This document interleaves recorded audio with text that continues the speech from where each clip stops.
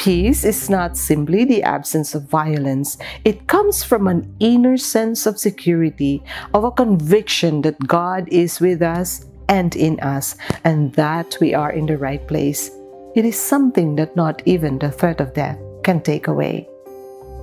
Hello, sisters and brothers. Peace be with you and your family. I'm Sister Rejoy for today's Gospel Power.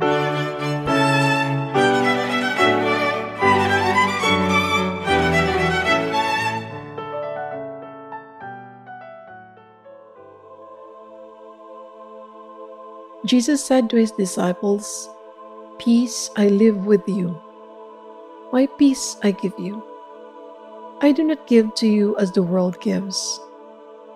Do not let your hearts be troubled, and do not let them be afraid. You heard me say to you, I am going away, and I am coming to you. If you loved me, you would rejoice that I am going to the Father because the Father is greater than I.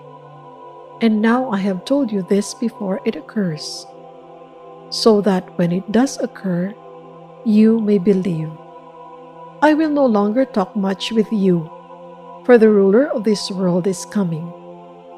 He has no power over me. But I do as the Father has commanded me, so that the world may know that I love the Father. He has no power over me, but I do as the Father has commanded me, so that the world may know that I love the Father.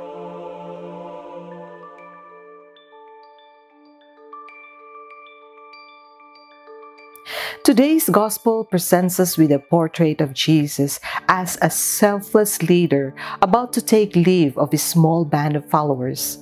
Though facing the horrors of his own death, his main concern is how to soften the blow that this event will deal to his disciples. He understands their frailty, for they are incapable of grasping the meaning and the far reaching implications of what is about to take place.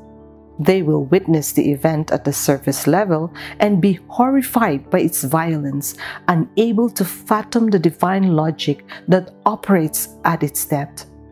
They need to be assured that nothing will happen that is outside the scope of God's saving will, so that instead of getting scandalized, they may believe to ensure that they will not remain in a prolonged state of grief over his death, nor be assailed by guilt for retreating from Calvary in fear, Jesus gives them in advance the gift of peace that will be the fruit of his sacrifice.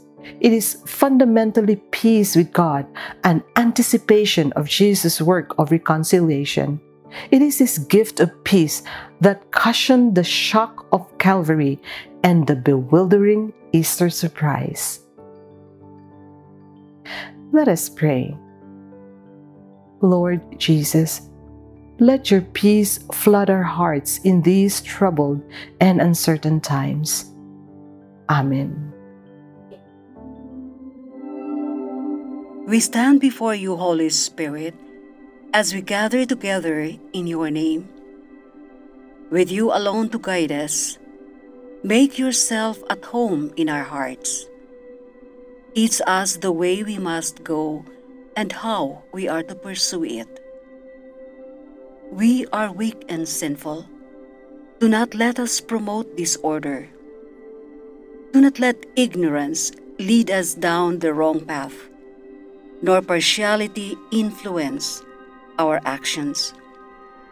Let us find in you our unity so that we may journey together to eternal life and not stray from the way of truth and what is right.